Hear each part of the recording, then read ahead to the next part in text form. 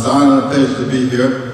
I want to say congratulations to all of the other recipients, to everybody who went before me and uh, was accepted or elected, inducted into this Hall of Fame.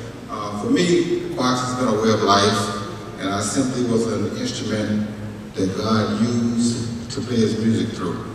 Okay. The boxing was my place that God gave me to show you guys what God could do if you just have faith and believe. Amen.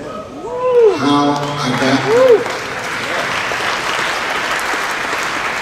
how I got to where I got, the accolades, the YouTube sensational videos that you can go back and watch. It's just all amazing and all really, but just throws me because I don't know how one person could do so much in such a short time. I mean, it's just unbelievable. So for people to induct me in the Hall of Fame. I'm just so happy. I want to say again, thanks to my family for coming to support me. I know I've been hard on them because if it wasn't for this Hall of Fame, I probably still would be retired. So thank you to the Hall of Fame for making me quit because I'm tired. I think I probably fought of these guys up here than anybody else in here.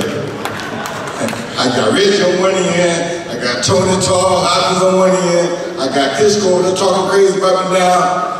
People always want to beat up poor Roy Jones Jr.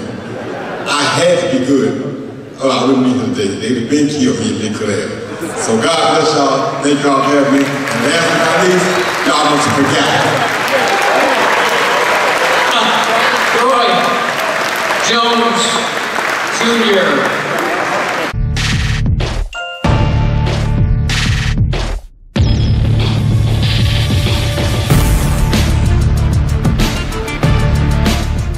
Seckbach, Elie Seckbach, reporting for ESNewsReporting.com. I'm Elie Seckbach, reporting. For ESNewsReporting.com, I'm Elie Seckbach, reporting.